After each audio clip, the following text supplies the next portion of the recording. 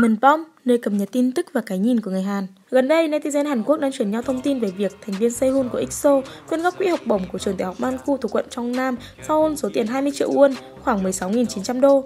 Cụ thể, phần quyên góp này vì tên gọi EXO Oh Sehun sẽ được sử dụng để làm học bổng trao tặng những học sinh xuất sắc trong ngày lễ tốt nghiệp diễn ra vào ngày 10 tháng 2 vừa qua.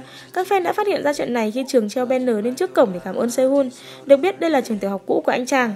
Sehun luôn quan tâm đến việc giúp đỡ trẻ em. Anh đã từng quyên góp cho trung tâm chăm sóc trẻ em và Eden Ivy dành thời gian với các em nhỏ cơ nhỡ tại Sundog Home bất cứ khi nào có thể, thậm chí hóa trang thành ông già Noel để tặng quà cho các em vào dịp Giáng sinh và bây giờ là quyên góp 20 triệu won vào quỹ học bổng của trường tiểu học cũ.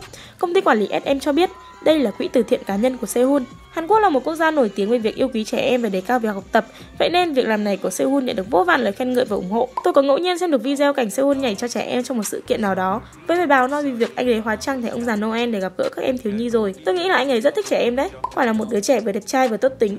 Ông Sehun quả nhiên là young, rich and handsome, không tiêu tiền cho các anh nhưng về trẻ em thì tiêu không tiếc tay luôn. Cậu anh gắn thêm chữ Xo cạnh tên mình khiến tôi thấy tuyệt vời ghê á, Ông Sehun.